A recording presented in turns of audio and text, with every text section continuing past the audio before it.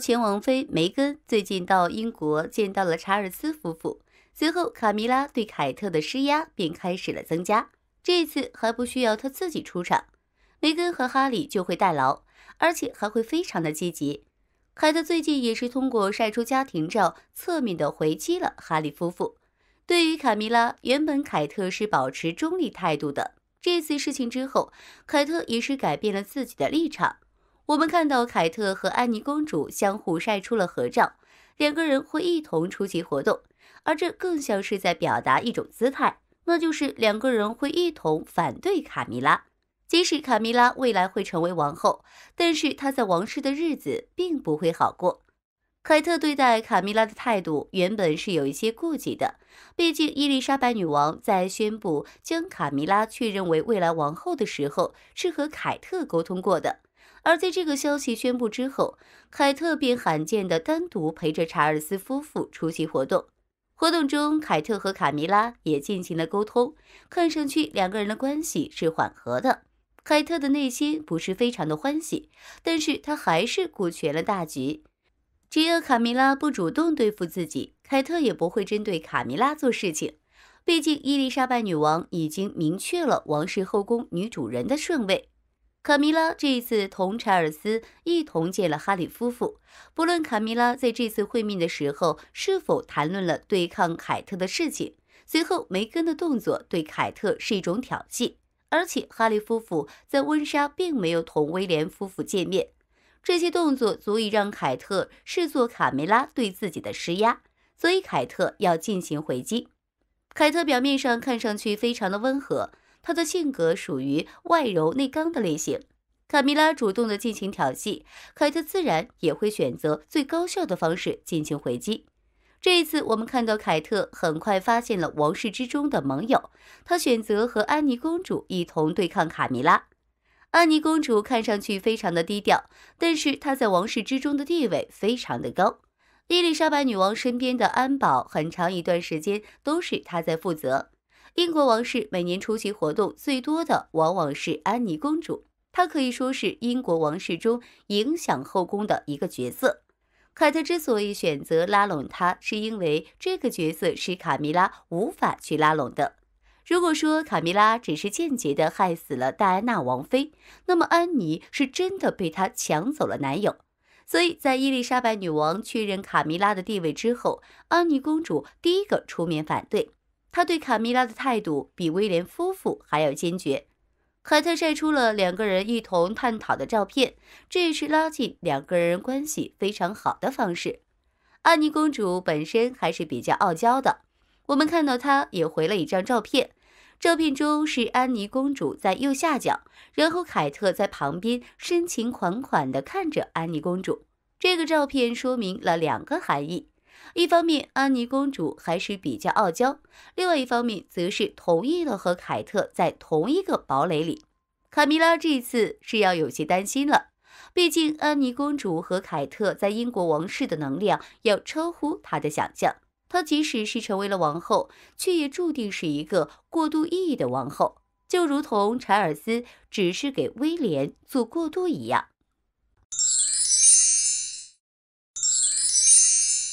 戴安娜就是天生的巨星，迄今为止还没有任何一个国家的王室成员会被这样的关注。即使她已经离世二十五年了。人们依旧是迷恋她优雅的穿衣风格和独特的人格魅力，这简直就是一个奇迹。戴安娜王妃创造了很多奇迹。二十岁时和查尔斯王子的世纪婚礼，全球的转播观看人数达到七点五亿人次，万人空巷。嫁入王室之后，魅力大到超过了英国女王，是最受欢迎的王室成员。甚至因此引起了丈夫查尔斯的嫉妒，从而影响了他们的婚姻。甚至至暗时刻，他的葬礼，全球二十亿人看电视转播，就为他送上一程。连他的情敌卡米拉都不得不承认，全世界的男人都爱着你。戴安娜王妃因为她绝美的容颜、修长的美腿、亲和的魅力、跌宕起伏的人生经历，让她成为本世纪最传奇的王妃。即使在短暂的一生，不仅让粉丝痴迷不已，更是迷倒了众多显赫的名流人士。在她长长的追求名单里，甚至还有特朗普和西班牙国王等人。胖小鸭如何蜕变成白天鹅？她是人人都羡慕的灰姑娘，是人民的王妃，全世界都爱她。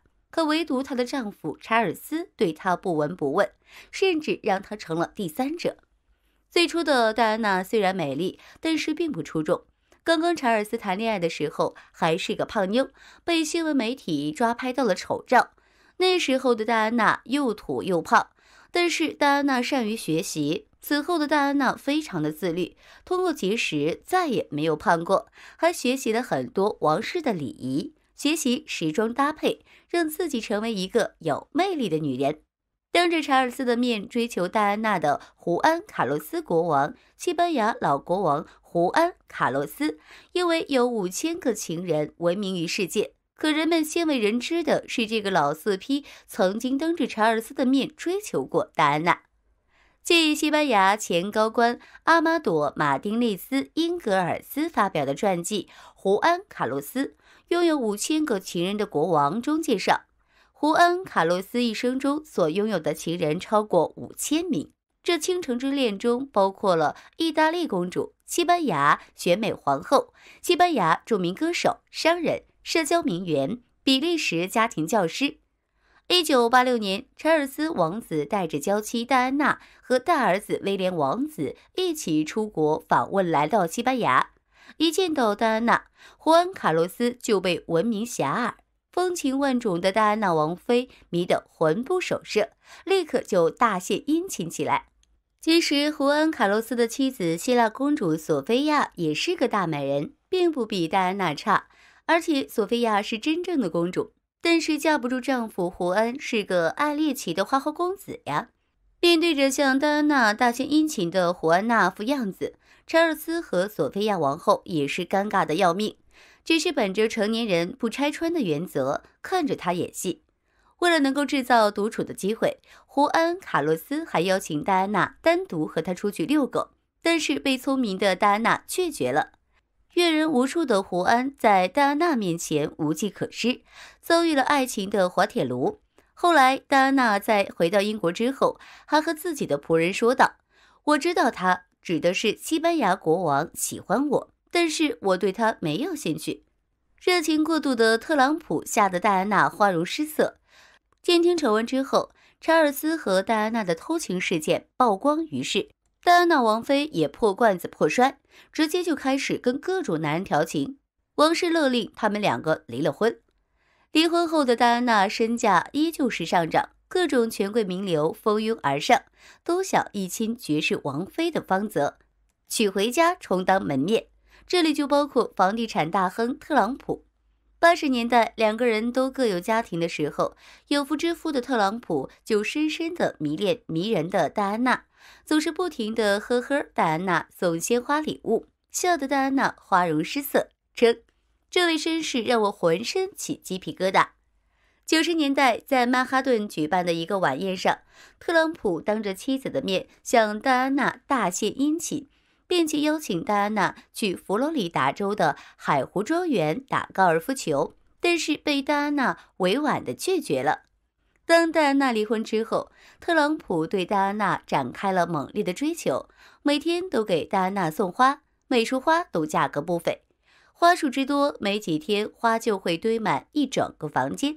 而对于特朗普这么猛烈的追求，戴安娜显然不知道如何应对，于是问朋友塞琳娜·斯科特：“我该怎么办？”他让我感到毛骨悚然，无所适从。特朗普追求戴安娜没有玩弄之意。当时他的第二段婚姻名存实亡，他要物色第三任妻子，而喜欢超模气质的特朗普对高挑、气质出众的戴安娜情有独钟。他曾对有人说：“戴安娜真的很美，可人们却没有意识到她的美。她是拥有超模一样的漂亮出众，她身材纤长又美丽动人，皮肤完美无缺，她的美应有尽有。”特朗普是要把戴安娜当老婆那样娶进门的。特朗普曾经在书里说道：“我非常倾慕戴安娜王妃，她很疯狂，但这都是小问题。我那时最大的愿望就是期望能够和她有一次非常完美的约会，而我现在最大的遗憾就是没有和戴安娜王妃约会过。